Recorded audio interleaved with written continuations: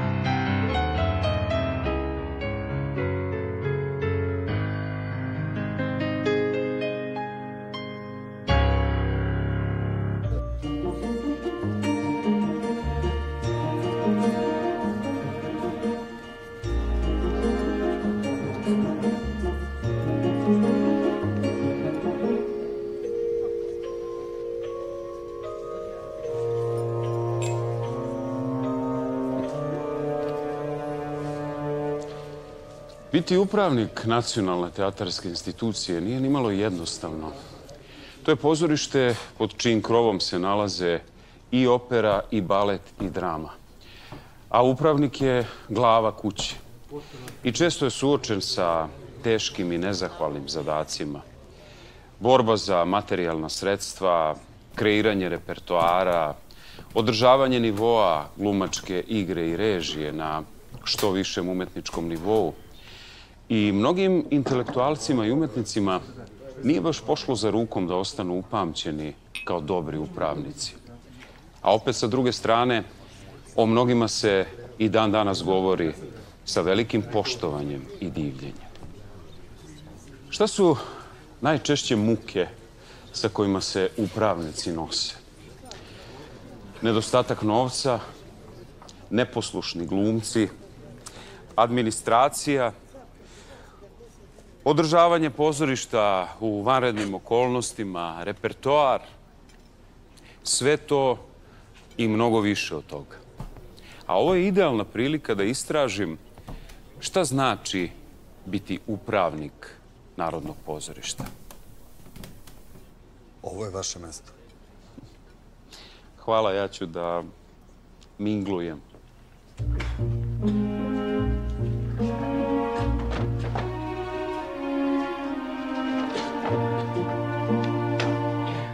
Kako vam se dopada vino?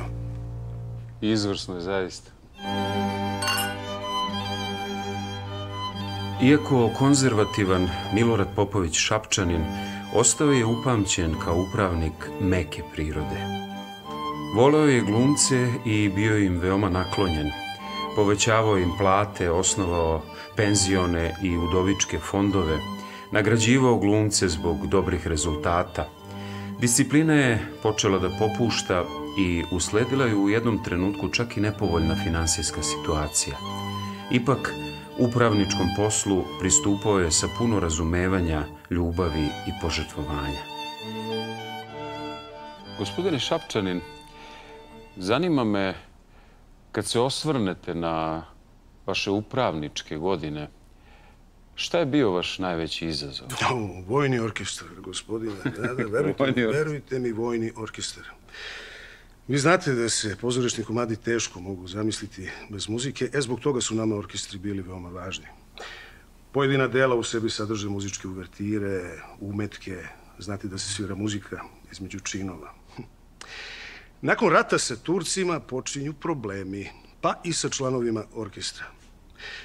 Naime, pojedini krugovi u vladi bili su mišljenja da je preskupo, pazite, da je preskupo da Narodno pozorište ima svoj sobstveni orkestar. Pa su mislili, pazite, oni su mislili da tu ulogu može da preuzme vojna muzika. Usledili su potom dugi, teški, rekao bih, pregovori sa kapelnikom Čižakom da se donesu tačna pravila pod kojima bi vojni orkestar bio u obavezi da bude na raspolaganju u Narodnom pozorištu, naravno u danima kada se daje predstava. I doneli smo mi, doneli smo mi pravilnik, pravilnik u deset tačaka. Prva tačka je trebalo da bude Stvarno ne bih smeo. Imam ozbiljne zdravstvene probleme. Razumem, razumem. Mogu li najljubaznije da vas zamolim za šolju toplog čaja? Svakako, stiže. Hvala.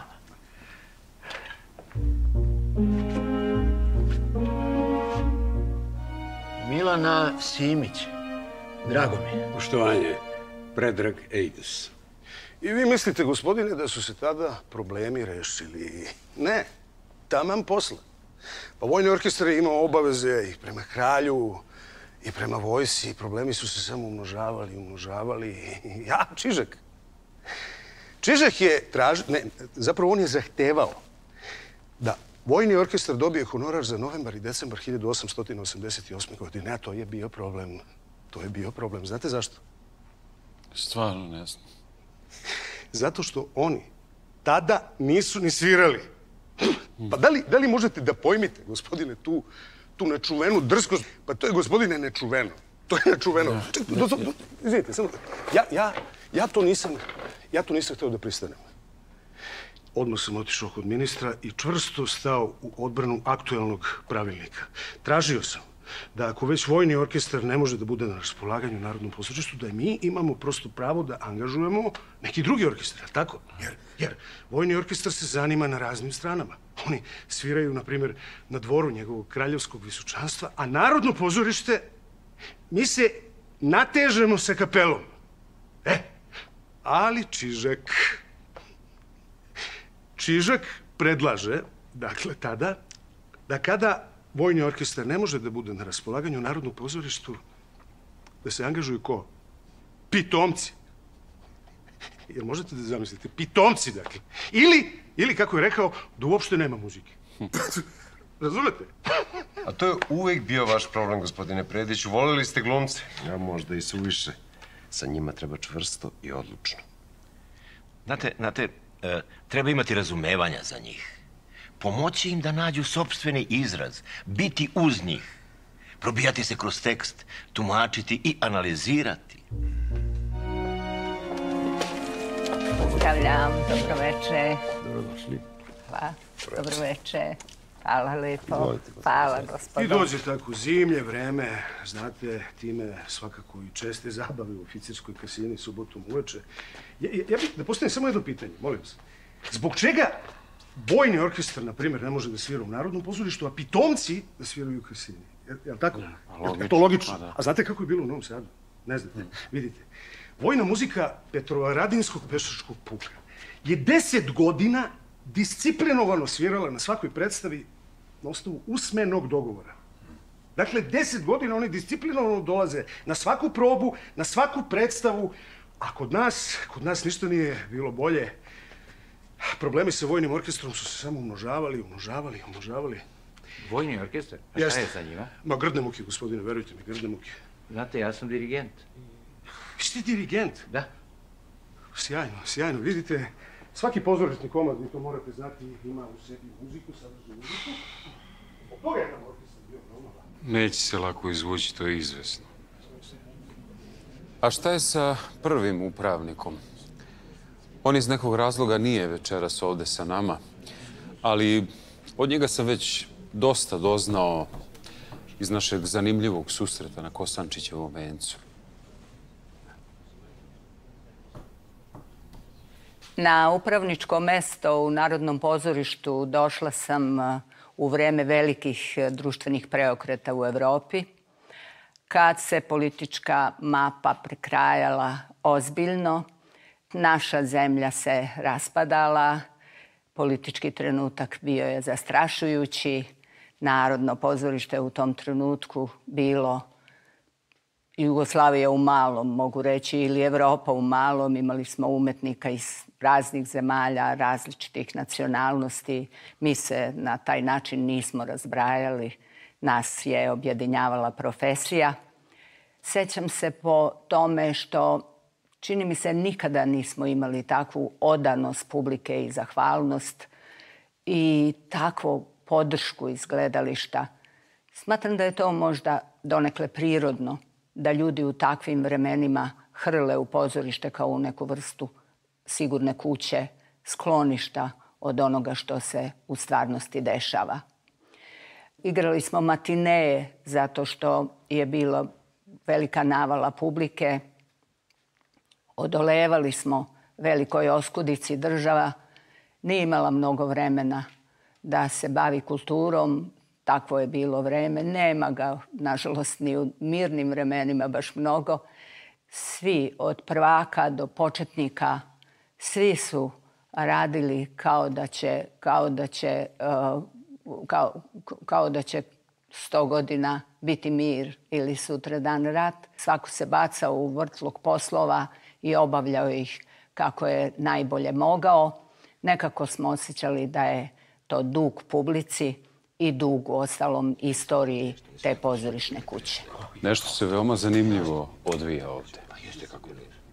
Ne, ne, ne, ne, ne, dozvolite, ja ću samo jednu stvar da vam kažem. Ja smatram da je neophodno naći finu meru. Milan Predić uz Đorđevića, Jankovića i Grola smatra se jednim od najuspešnijih upravnika koji su bili na čelu ove institucije. U posao je unosio potpunu predanost i posvećenost. Bio je usamljenik vezan za Narodno pozorište. U ovoj kući bio je dramaturg, prvi sekretar, pa direktor drame, a onda i upravnik. Kada je Grol penzionisan, bilo je sasvim logično da na njegovo mesto dođe njegov najbliži saradnik, koji je imao znanje, iskustvo i razumevanje. Na čelu pozorišta našao se čak četiri puta. Iz političkih razloga, baš kao i Grol, bio je smenjivan. Jednom čak i zbog spletke primadone Ksenije Rogovske i njenog muža, direktora opere Stevana K. Hristića. Nisam ih tetošio, ali sam znao da im skrenem pažnju na njihovu lošu igru. Neposlušni glumci. Boljka svih upravnika. Ah. Ono što našim glumcima najviše smeta nije prekomeran posao. Oni su ga već poprilično uprostili. Već to što su postavili određeni tip i iz njega ne izlaze. I onda unapred znate kako će neko da odigra određenu ulogu, jer vam je poznata. A glumci će biti glumci. Gospodin Predić uvek je, ali uvek s naklonošću gledao na taj njihov bojemski način života. Uvijek je podržavao ta njihova mistifikovana opijanja do zore. A pa prestrogi ste, dragi moj grole. Znate, znao sam ja i tome stati na put kada se ode načisto u propast. Znate, za razliku od gospodina Grola, koji veruju u čvrstu disciplinu, ja sam više verovao u, u, u drugačiji vid odnosa prema njima. Znate, oni su delikatne duše. Joj, kad se samo setim Rucovića. Dobro, znate, on je bio malo neposlušan. Gospodine Prediću, treba nam celo veče samo da nabrojim sve ne- nedaće koje smo imali sa njim. A molim vas, a gospodin Predić uvek je pokazivao razumevanje za njega. Ja mu odredim novčanu kaznu, gospodin Predić mu je smanji i stalno tako u krug. Sve, sve je prastao glumcima. Znate, darovit je bio. Ali vas su smenjivali i vraćali. Da. Znate, e, posebno pamtim smenu iz 1940. godine. Nisam naslučivao da će se bilo šta dogoditi. Pamtim da sam došao tog dana u svoju kancelariju, tamo me sačekao doktor Vinko Vitezica sa rešenjem ministra da prima moju dužnost upravnika. I videlo se, znate, da mu je bilo jako neugodno što mora tako da postupi. Ja naravno nisam hteo da mu tu stvar činim još neugodnijom. Nasmešio sam mu se, uzeo notu, pročitao ministrovo pismo, rukovali smo se, rekao sam mu, klanjam se i sišao sam niz stepenice, odakle sam i došao. Ali ipak ste se četiri godine nakon toga vratili. Da, da, da. Moram da primetim da ste sva trojica trpeli političko progonstvo dok ste bili na čelu Narodnog pozorišta. Mm, da, a to je glumačka osveta. Ja sam imao dosta sukoba sa njima, ali jedan slučaj ipak je prelomio. Jedan od glumaca izvesni gospodin Dragomir Petrović. Tražio od pozorišta da proslavi njegov jubilej, mi smo to odbili jer smo smatrali da taj glumac prosto svojim kvalitetom ne zaslužuje tu vrstu proslave. E sad, uvređeni gospodin Petrović se žalio ministru Žujeviću i ovaj mu je dao dozvolu, ali mi smo odbili da radimo po tim instrukcijama i podneli smo ostavke. I mislim da smo dobro učinili. A incident na predstavi na dnu? A eto, i meni su prebacivali da sam strog upravnik. Pa, da smo baš nas trojica činili upravu. Da, predstava na dnu je prekinuta zbog demonstracija, zbog povika protiv nas. Na ulici nedelju dana ranije deljeni su leci koji su pozivali na demonstracije i pobunu. Pa sve je bilo politički obojeno. I eto, da ne bi došlo do daljeg urušavanja institucije, podneli smo ostavke. Dragomir Janković tokom svoje uprave doprineo je reformisanju Beogradske pozorišne scene. Iako naklonjen francuskoj književnosti, Janković nije zapostavljao ni nacionalnu dramu, ali je svojim težnjama želeo da se repertoar osavremeni i oslobodi romantičarskih stega. Posebnu ideju o reformama Janković je imao kada je reč o glumcima u pozorištu – Želeo je da uvede disciplinu, ali novčane kazne su još više pogoršale situaciju, iako je stanje zbog neposlušnosti i spletki bilo zaista ozbiljno. Gospodine Jankoviću, mogu li da vas zamolim da pređemo ovam? Gospod.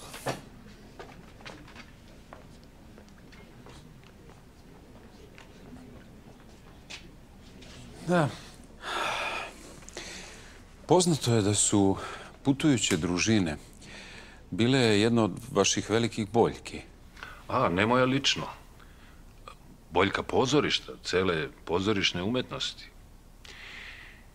Narodno pozorište, s obzirom da je centar u Beogradu, a delimično i zbog zadatka kojima je zakonom određen, nije moglo da odvoji za sistematična putovanja po zemlji, što bi na svaki način bilo jako korisno. Jedino što se u tom pogledu donekle činilo bile su manje više probranije grupe članova pozorišta koje su pomoću uprave u garderobi i rukopisima o raspustu u varoši bliže Beogradu davale neke predstave. Repertoar tih družina bio sračunat na materijalni uspeh. Tako da od tih putovanja ne bi bilo toliko koristi koliko bi ih bilo da finansijska strana nije pretežna. Izgleda da se ništa nije promenilo u ovih 150 godina. Uvek je bilo i bit će glumaca koji će na ovaj način želeti da dođu brže i lakše do zarade. Te grupe nisu na polzu pozorišta i ne rade dovoljno na populisanju dramske književnosti, jer igra one komade koji za Beograd nisu. Trebalo je zakonom regulisati to, to, to ambulantno predstavljanje koje je bilo na onom stadijumu u kom ga je ostavio Jakim Vujić. Sviđa mi se taj izraz ambulantno predstavljanje, da. da, a kako drugačije da kažem. Insistirao sam da se pozorišnim zakonom reguliše rad pozorišta koja putuju i da se njihovim članovima propišu pravila koja važe za esnafe u zemlji. Kada sam pozvan od strane tadašnjeg ministra kulture 2008. godine Vojislava Brajovića da preuzmem rukovodđenje Narodnim pozorištem, prihvatio sam ne toliko zato što sam mislio da u okviru moje vokacije to sad treba da bude nekakva kruna, nego zato što sam bio ubeđen da e, Narodno pozorište mora da doživi izvesne organizacijno-tehničko-estetske promene. Vrlo brzo sam shvatio da će to biti jalov posao, iako smo neke stvari uspeli da uradimo. Ali ono što je moja ideja bila, a to je da donesemo zakon o Narodnom pozorištu, pošto je Narodno pozorište već od osnivanja bilo formirano zakonom ne o pozorištu, nego o Narodnom pozorištu. Taj zakon je praktično funkcionisao preko 80-90 godina, sve do negde 45. godine, sa nekim izmenama i tako dalje, a onda je ovaj, uveden takozvani stalni radni odnos i e, broj ljudi u Narodnom pozorištu se permanentno povećavao, bez obzira što potrebe nisu bile tolike, tako da kad sam ja došao, bilo je preko 50 ljudi, a možda i više, ove, prekobrojnih. Tako da, kad sam shvatio da, da je to nešto što neće moći da se promeni vrlo brzo, ja sam demisionirao. Drugim rečima, podno sam ostavku i mislim da spadam u red veoma redkih upravnika koji je podneo ostavku, a da na to nije bio primoran od strane vlade ili od ministra. Jednom prilikom sam gore na spratu, tre, drugom spratu Narodnog pozorišta ispred upravnikove kancelarije, neko od upravnika, mislim da je Deja Savić, ovaj, postavio slike svih upravnika od osnivanja do danas i onako letimično gledajući shvatio sam da sam zajedno sa Nušićem, dakle Nušić pa ja, najkraće bili upravnici Narodnog pozorišta.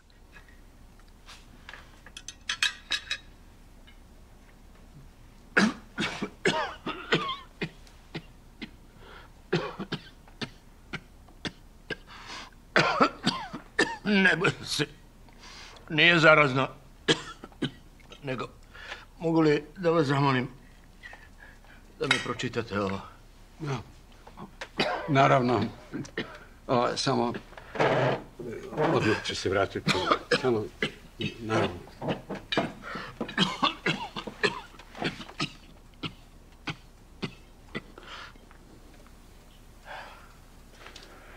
Dajte meni da vam pročitam. Najlepše hvala.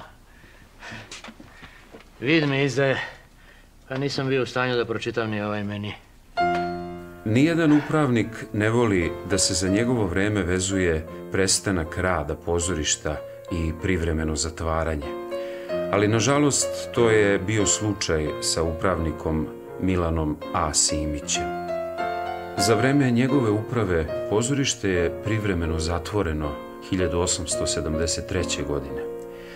Simić je bio jedan od onih ljubitelja srpske prosvete koji su se zalagali za procvat i razvoj srpske kulture. Poticao je iz ugledne porodice bliske dinastije Obrenović. U Simićevom domu skupljali su se kulturni radnici Beograda, koje je on i materijalno pomagao. Simić je bio uglađen, blag i kulturan, pravi zapadnjak evropskih manira, obrazovan i inteligentan čovek. Moje loše zdravlje omelo me i u vršenju upravničkih dužnosti kako priliči. Bio sam prinuđen da zamolim ministra da mi odobri odsustvo. Bolujem od grudobolje, kostobolje, reume, a i vid me je izdao. Nisam bio kadar ni da pišem, ni da čitam. Malo je ostalo zapisa o vašem upravničkom iskustvu. A ono što je ostalo bilo je nepošteno i grubo. Đorđe Maletić je pisao da mi je komoditet bio važniji od ove kuće, a to je bilo daleko od istine. A vi ste njega nasledili? I njega i dugove koje je ostavio. To što se meni pripisuje da sam odveo pozorište pod ključ, to je bilo sve zbog nasleđenih dugova koje mi je Maletić ostavio. Ja sam na sve načine pokušavao da vratim pozorište na noge. Organizovao sam lutriju, izradili smo i dekorativno spomenarsko ordenje. Ministar prosvete Kosta Jovanović podneo je ostavku i date su dve opcije. Ili da se smanji broj zaposlenih, ili da se pozorište zatvori. Novi ministar, Stojan Novaković, je odabrao ovo drugo. Pozorište tada nije radilo devet meseci, a kada je počelo sa radom, problemi su se nastavili. Pokušao sam da obnovim pozorišnu trupu. U Beogradu su se tada skupljale predstavljačke družine i ta... Naravno, to je ugrožavalo rad pozorišta. U Skupštini se vodila rasprava o potpunom ukidanju pomoći pozorištu. Bila je ta struja koja je smatrala da je pozorište nepotreban luksuz i da služi za razonodu dokone bogate gospode i naravno da su državi potrebnije zemljoradničke škole. Onda je izbio Srpsko-Turski rat, koji je ponovo ponovo zatvorio pozorište 1876. godine. Još ja sa ovakvim zdravljem, lošim, nisam bio u stanju da se nosim sa svim tim stvarima. Zahvaljujem. A što kažu? Koje je glavno jelo? Upravnicima nije ni malo lako. Treba kreirati repertoar, obezbediti financije, privući publiku da dolazi iz večeri u veče, a kako o svemu tome brinuti u ratnim okolnostima? Ovde je upravnik koji se vešto i odlučno nosio sa bremenom teškog perioda velikog rata. Rat je načinio prekid u radu pozorišta. Agilan, ekspeditivan, uporan, precizan i posvećen. Ovo su samo neki od epiteta kojima bi se mogao opisati upravnik Milan Grol.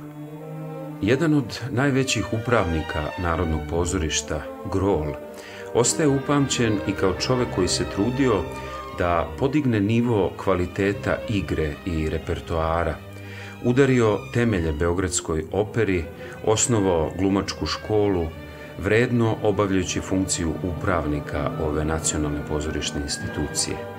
Pedantan i strog, Grol je od glumaca zahtevao disciplinu. Bio je upravnik koji je težio da pozorište uzdigne na nivo evropske institucije savremenim umetničkim metodama rada, reformama u oblasti repertoara, režije, scenografije i kostima. Veliki broj uigranih komada koji su zapravo i najveći umetnički kapital jednog pozorišta bio je zastareo ili zaboravljen ili onemogućen prazninama u glumačkoj trupi. I onda tako iz tih ostataka ostarele opreme, zaboravljenog repertoara, ostarele i proređene trupe. Narodno pozorište zapravo posle rata stvara jedno novo delo. kao, kako bih rekao, kao brodolomnici kada iz delova razbijenog broda prave prvo slonište. Jedna od teškoća uz mnoge druge materijalne i tehničke je što Narodno pozorište niti je nastavilo svoj rad, niti započinjalo nov. U trupi glumci sa pet godina više u starosti, a pet manje u stvaralačkom radu. U prvim mesecima pokušali smo da osposobimo pozorište za rad. A gde su se predstave igrale umeđu vremenu? Da. Prvo smo se preselili u salu bioskopa Kasine. Na pozornici promaja i hladnoća do Do pozornice glumci treba da prođu dvorištem kroz kišu i vejavi su je sad sačekati u takvoj sali. Završetak nove zgrade, to je bilo potpuno nemoguće. I izdržali ste tamo celu godinu? Da. Ali jedva. Onda je donešena odluka da se manjež adaptira u pozorišnu salu. Za nepuna tri meseca, od oktobra do decembra, u četiri prazna zida zapuštene sale za jahanje, konstruisana je pozorišna sala.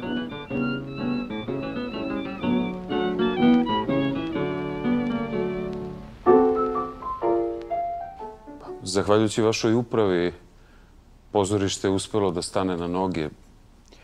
Kako ste rešili problem ansambla? Glumački ansambl bio je u očenom stanju.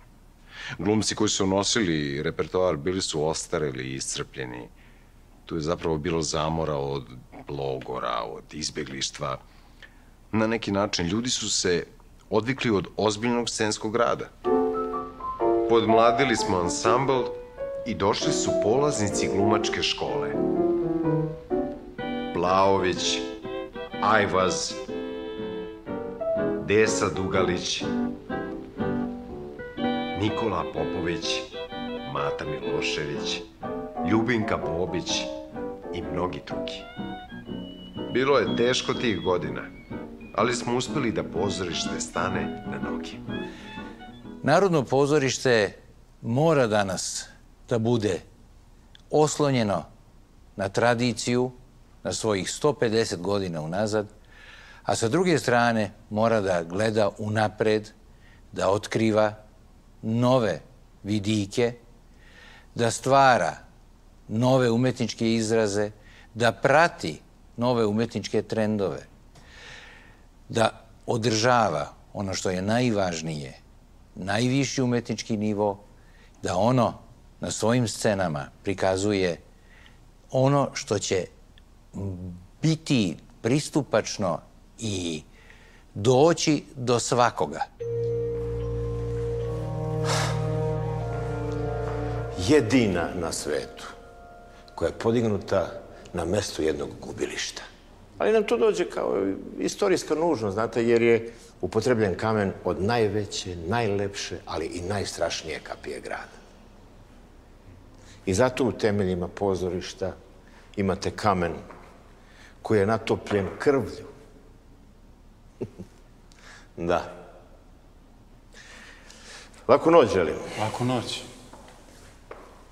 Laku noć, gospodine. Laku noć. Evo i poslednji gosti odlaze. A niste vi poslednji, gospodine. Rekao bih da je naš upravnik još uvek tu. Nije još otišao. Nisam video da odlaze, gospodine. Laku noć. Laku noć.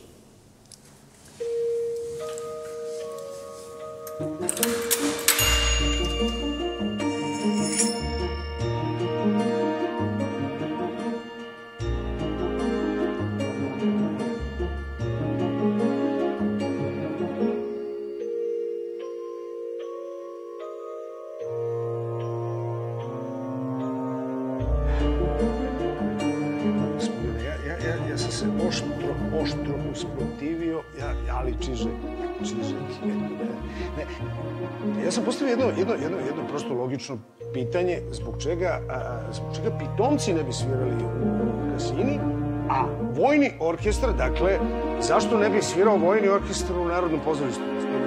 Pa zar to nije, zar to nije logično, molim vas?